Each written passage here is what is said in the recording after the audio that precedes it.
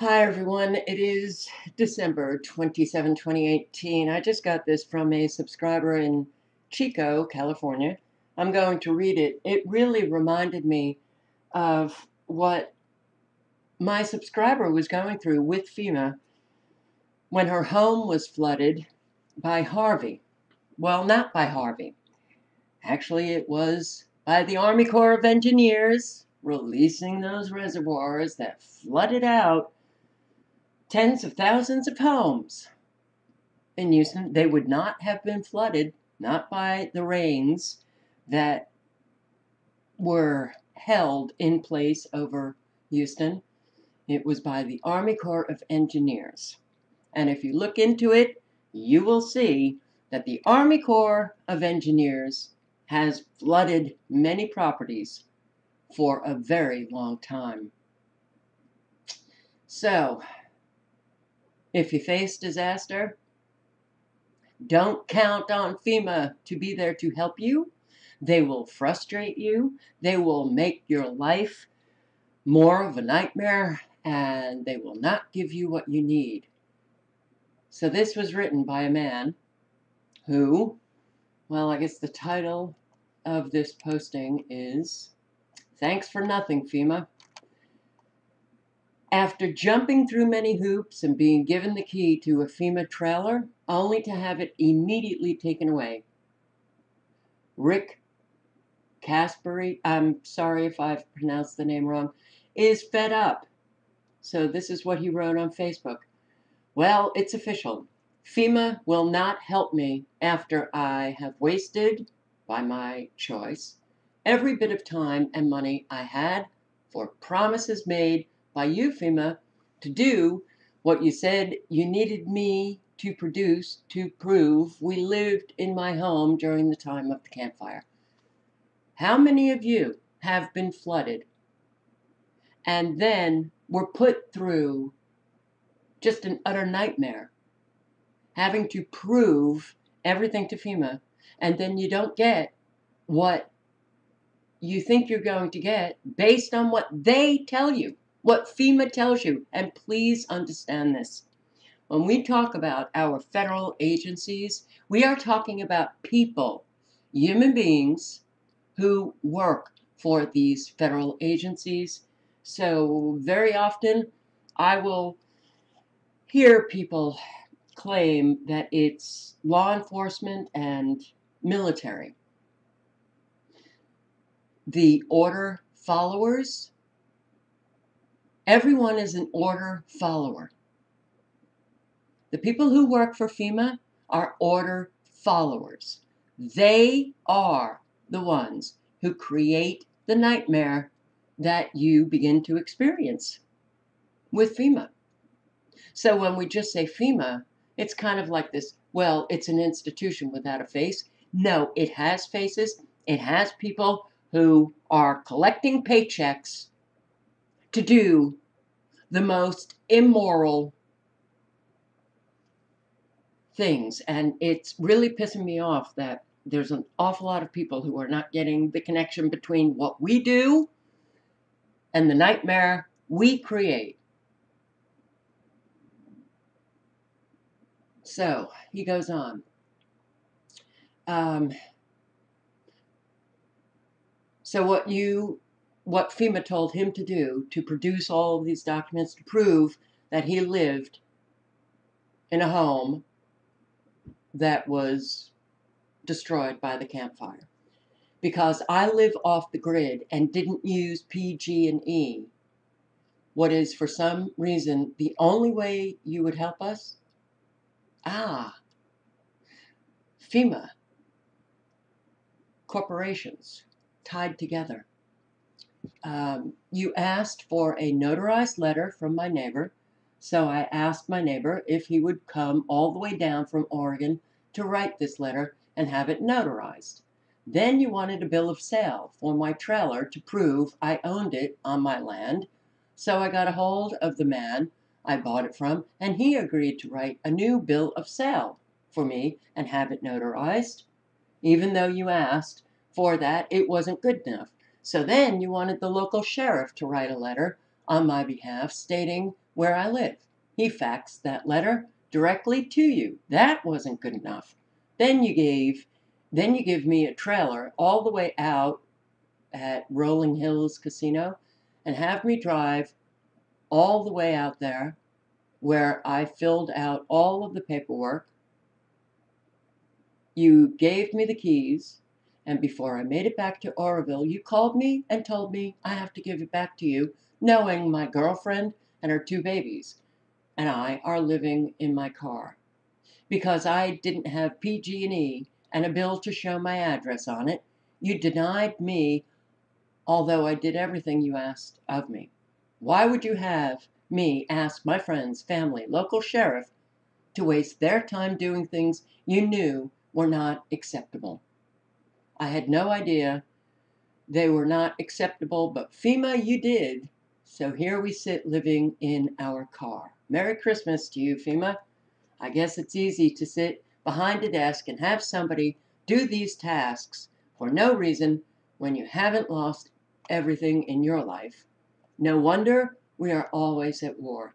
Nobody wants to be friends with a bunch of liars.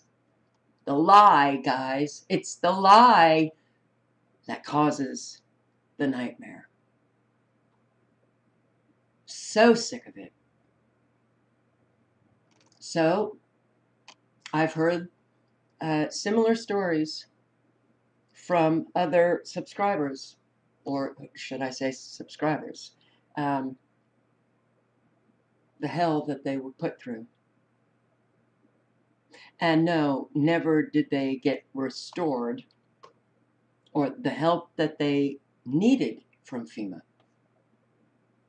It's all deliberate. They will not make you whole no matter how much you pay in taxes.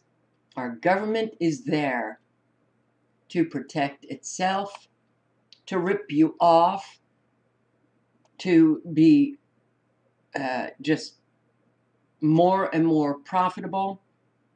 Federal agencies are corporations and they work to make a profit. And I wish people would just do a little bit of research to find out. But here, another post that I was sent by that subscriber. Amazing.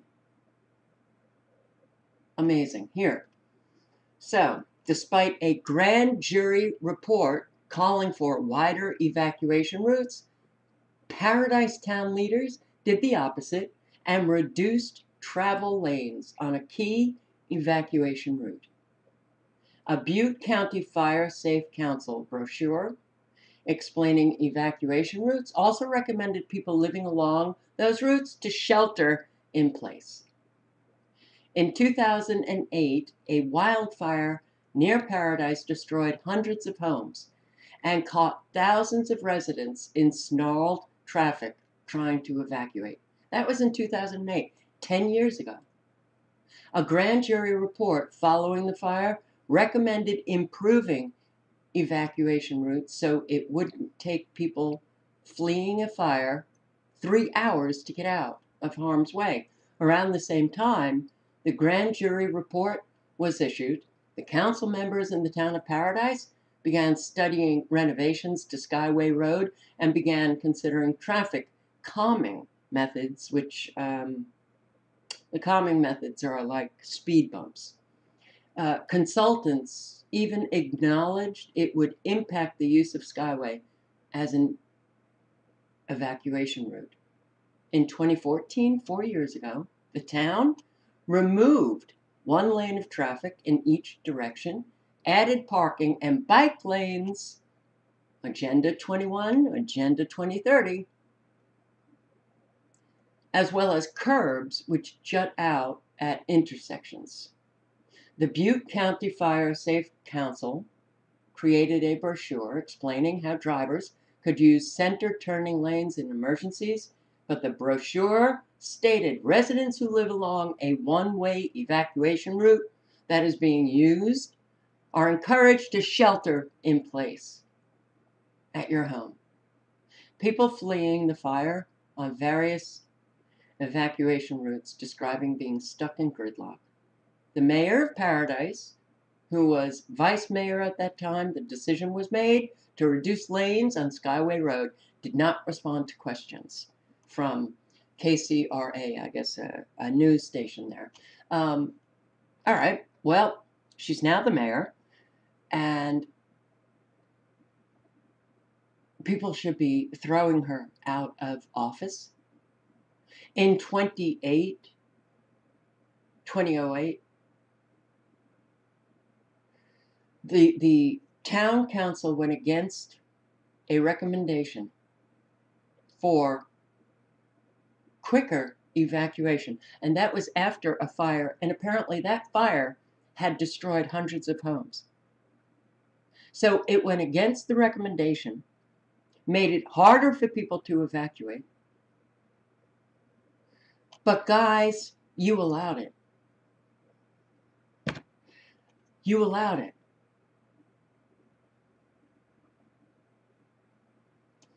it you, you should have been screaming then. And are any of these people still on that town council? Why are we allowing it? And I don't say that, you know, to upset anyone. But in 2008 and then 2014, it was known that your town council was implementing a danger to all of you. A danger. And 2018, you got to see the danger. You got to experience it. We need to really take matters into our own hands. Because these town council people all over the country are a danger to you. What are some of the comments? I was never in a traffic jam in Paradise until they did that stupid move. It's not a stupid move. It is an incredibly dangerous move that has proven itself to be dangerous. Look at what has manifested. Of course, there were many factors that went into the terrible campfire tragedy, but the point is that by narrowing passageways in paradise, after being told by a grand jury to widen the roads, was terribly irresponsible no, it wasn't irresponsible. It was unbelievable, but it was immoral. And it it absolutely put you in danger. And it was obvious because they were not following the recommendation. They were following the dictates of Moonbeam and the United Nations. to do that reshaping Eh, under the umbrella of Agenda 21 2030. It's stunning that city planners are capable of that kind of stupidity. It's not stupidity. We really do have to be very clear about what is taking place and to call things for what they are. It's not stupid. It's it's an act. It's a deliberate act to destroy you, to destroy you, destroy you. Um, the city planners in Chico are just as bad. Well, I think everybody in Chico need to go to their city planners and to find out what's going on. By no means am I a fan of PG&E, but the lion's share of the blame of this tragedy should be placed on the heads of the Paradise City Council with their decisions not to cut trees, not to make clear uh, defensible space around power poles. This, I'm sorry, Steve, but you're needing to look uh, more deeply into what is taking place here. You're at war, Steve. They use many methods to create these fires and to destroy homes, level them to dust. It is not about clearing space and cutting trees. It is about those who are waging war upon you in your area. You cut the trees, you clear defensible space, they're still going to burn you up.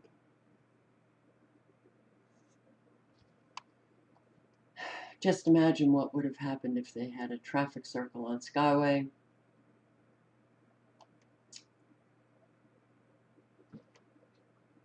You know, you read these comments, and this goes on after every disaster.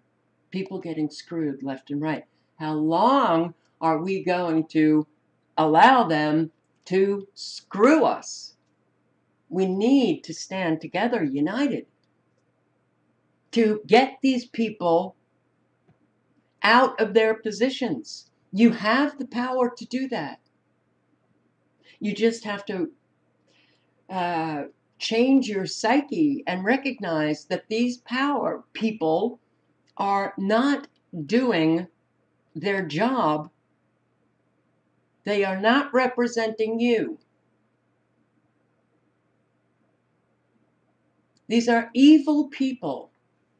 They're not bird brains. They're not stupid. But this one post I need to read. People, I want to know as to the people of paradise why there was spooks why there were spooks, FBI, Homeland Security, uh, the second day after the fire. It certainly wasn't because Trump was coming two weeks later. This is what you need to be asking the government. This is not a conspiracy theory. Some of us were up there two days after the fire. The second day, uh, the fire started. I'm sorry, the second day the fire started. They were crawling all over paradise, investigating something other than PG&E.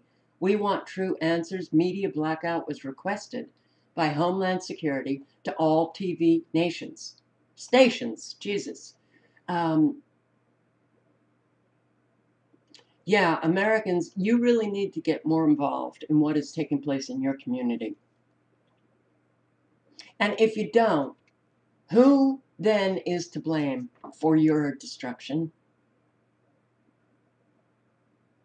Poor town planning? That wasn't poor town planning. That was evil town planning. Evil. And the only way to fight evil is to stand up to it, face it, remove it.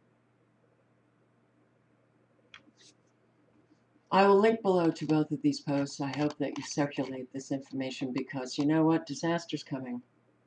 What? Who? Who? Who next? Who's next? Are you next?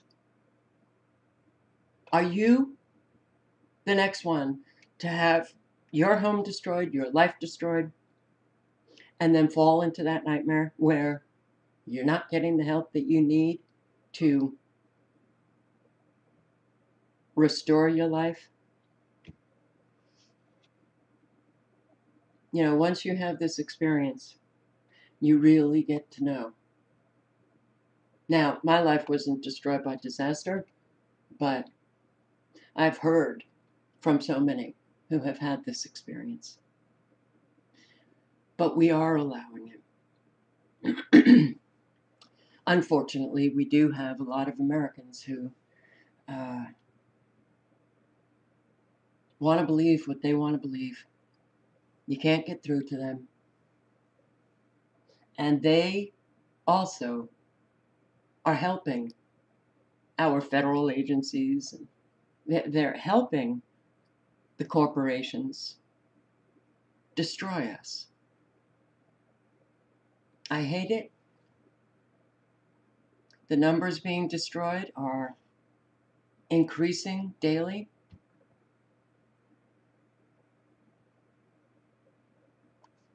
The links are below.